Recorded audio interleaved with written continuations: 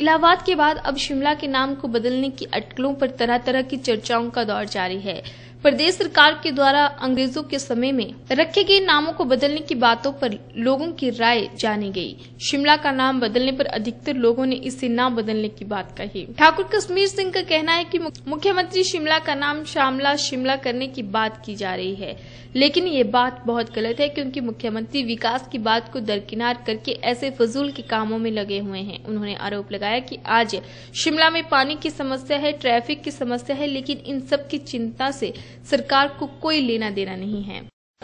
वास्तव में ये मुख्यमंत्री जो शिमला का नाम श्यामला करना चाहते हैं, और हमने देखा कि बीजेपी की जहाँ जहाँ सरकार है, चाहे वो हरियाणा में है, अभी वाराणसी का नाम प्रयागराज करने की बात हो रही है या कर दिया, इनको और कोई काम नहीं है बीजेपी के नेताओं और विकास की बात नहीं करेंगे मजदूरों की बात नहीं करेंगे, किसानों की बात नहीं करेंगे, महिलाओं के उत्थान की बात नहीं करेंगे। इनको यही काम है कि शिमला का श्यामला कर दो, मंडी का कुछ और कर दो, कुल्लू का कुछ और कर दो। इनको सिर्फ़ नाम परिवर्तन करने से मतलब है। ये विकास की कोई बात नहीं। आज शिमला में इतनी बड़ी समस्या है, लोगों को पानी नहीं मिल रहा है। और वहाँ ट्रैफ़िक का इतना बड़ा समस्या है। दो दो घंटे लोग ट्रैफ़िक जाम में फंसे रहते हैं। मुख्यमंत्री को ये चिंता नहीं है कि उससे कैसे निजात पानी है। मुख्यमंत्री को ये चिंता नहीं है कि शिमला के लोगों को पानी कैसे देना है, प्रचुर मात्रा में। तो ये सारा लोगों का ध्यान बांटने के लिए ताकि लोग वही चर्चा करते हैं। लोग रोज़गार की चर्चा ना करें लोग ठेका प्रथा के खिलाफ चर्चा ना करें लोग महँगाई के खिलाफ चर्चा न करें लोग पेट्रोल डीजल की कीमतों में बढ़ोतरी के खिलाफ चर्चा न करें। लोग सिर्फ़ शिमला और श्यामला के बीच में फंसे रहे ये बीजेपी का एक नाटक है, षड्यंत्र है और लोगों को इस चक्कर में नहीं फंसना चाहिए। शिमला शिमला रहे, एक हिस्टोरिकल सिटी है और बहुत सारे एग्रीमेंट्स हिंदुस्तान और पाकिस्तान का एग्रीमेंट उन्नीस सौ इकहत्तर में हुआ। शिमला एग्रीमेंट के नाम से जाना जाता है। शिमला अंग्रेज़ों की राजधानी रही। और बहुत सारे ऐसे ऐतिहासिक बातें हैं जो शिमला से जुड़ी हुई हैं। आज जो शिमला का श्यामला करने में लगे हुए हैं, ये बेतुकी बातें हैं। उनको फोकस करना चाहिए डेवलपमेंट पर। वो करते नहीं है। इसलिए आप बिलासपुर से लेकर शिमला तक की सड़क है। वहाँ सिंगल रोड है आज की डेट में भी। नाम का नेशनल हाईवे है। आज भी वहाँ पर समस्या जो है ट्रैफ़िक की बड़ी प्रॉब्लम है। इसको शिमला और श्यामला में फंसा हुआ। और कोई काम नहीं है। मंडी में नेर चौक का चौथी बार उद्घाटन हो गया परसों। चौथी बार पट्टी लगी वहाँ पर। और मेडिकल कॉलेज अभी नहीं खुला। ये यहाँ का मेडिकल कॉलेज है। आज अखबार में आया है। एक मरीजों के लिए एक नर्स है। इनको तो शर्म आनी चाहिए। मतलब जो डेवलपमेंट के काम है वो तो करेंगे नहीं। शिमला और श्यामला में फंसे हुए। ये बिल्कुल जो है, ये निंदनीय है। ऐसा नहीं होना चाहिए और मुख्यमंत्री को ऐसे बातों में नहीं फंसना चाहिए विकास की तरफ़ को ध्यान देना चाहिए। युवाओं का कहना है कि बीजेपी की सरकार वाले मुख्यमंत्री पुराने शहरों के नामों को परिवर्तित करने में लगे हुए हैं जो कि गलत है। उन्होंने कहा कि बीजेपी सरकारें लोगों के मुद्दों से लोगों का ध्यान भटकाने में लगी हुई है। हाँ, जैसे कि आप ये देख रहे हैं कि हिमाचल प्रदेश के अंदर भी शिमला नाम श्यामला करने की जो है हमारे प्रदेश के मुख्यमंत्री करने जा रहे हैं। इसके पीछे एक बहुत बड़ी लंबी साजिश है कि हम देख रहे हैं कि जब से 2014 के अंदर जो जब नरेंद्र मोदी की सरकार बनी थी तो उस दौरान जो था, अच्छे दिनों का वायदा लेकर जो है ये सरकार बनाई गई थी।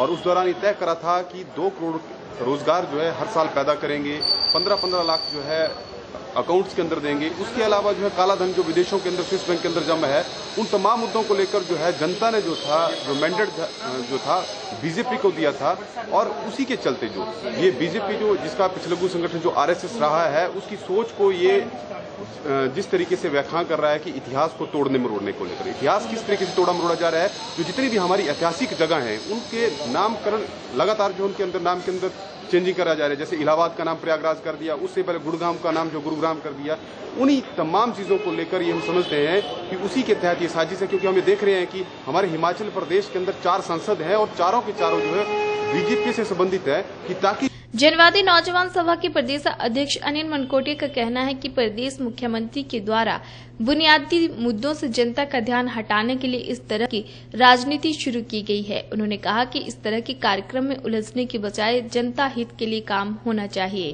प्रदेश के जो मुख्यमंत्री जयराम ठाकुर जी हैं वो अपनी नाकामियों को छुपाने को लेकर इस तरीके के जो है स्टेटमेंट्स दे रहे हैं और जिस तरीके से हिमाचल प्रदेश में लोगों को उम्मीद थी कि हिमाचल प्रदेश के अच्छे दिन आएँगे। अपने जो उन्होंने वायदे किए थे चुनावों से पहले बीजेपी का जो इलेक्शन मैनिफेस्टो था, उन सबसे ध्यान हटाने के लिए, बेसिक मुद्दों से, जो बुनियादी मुद्दे हैं, उनसे ध्यान हटाने के लिए जो है, इस तरीके का कार्यक्रम बीजेपी सरकार ला रही है कि इस जगह का नाम बदलकर ये रखेंगे।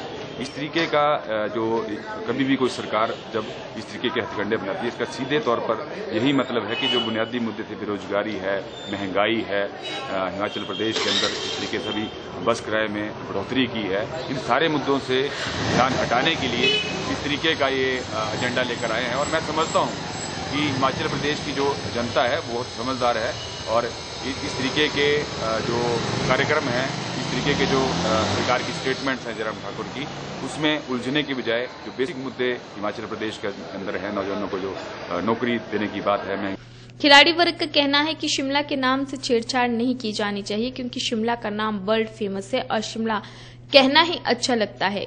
इसीलिए सरकार को चाहिए कि ऐसा नहीं किया जाना चाहिए। वो तो अब मुख्यमंत्री साहब का अपना डिसीज़न है और इसमें हम क्या बोल सकते हैं? पर ये है कि नाम अच्छी है, शिमला भी अच्छा है, नाम इतना अच्छा नाम, पुराना नाम है।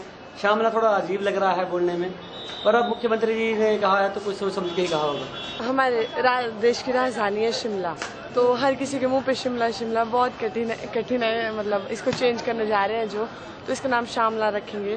तो बहुत मतलब स्टार्टिंग में प्रॉब्लम होगी, वैसे ठीक है। जो हमारी प्रदेश की राजधानी है, उसका पुराना नाम था शामला। तो उसके बाद उसको चेंज करके शिमला बनाया। शिमला जो अब इजी नाम है, जो हर किसी के मुँह पे हमारी राजधानी शिमला जो अब हमारे मुख्यमंत्री जी उसको शामला में चेंज करने जा रहे हैं तो वो थोड़ा डिफ़िकल्ट वर्ड है। जैसे हमारी ओल्ड जनरेशन है, उनको तो मतलब शिमला अच्छा लग रहा है, पर जो मतलब न्यू जनरेशन होगी, उनके लिए श्यामला थोड़ा कठिन हो जाएगा। सर, मेरा ये कहना है कि जैसे अभी मुख्यमंत्री जी का फैसला है कि जो हमारे पुराने नाम थे, हमारे इनके स्टेटों के, वो लाए जाएँ, वो सरासर गलत है। क्योंकि जो आज का शिमला है, शिमला का नाम सभी लोगों की ज़ुबान में आसान से आ जाता है, सभी आसान शिमला, और जो दूसरा नाम रख रहे हैं, वो एक तो पुराना हो चुका है, और ये तो एक राजनीति खेल है, मेरी तरफ़ से शिमला ही रहना चाहिए।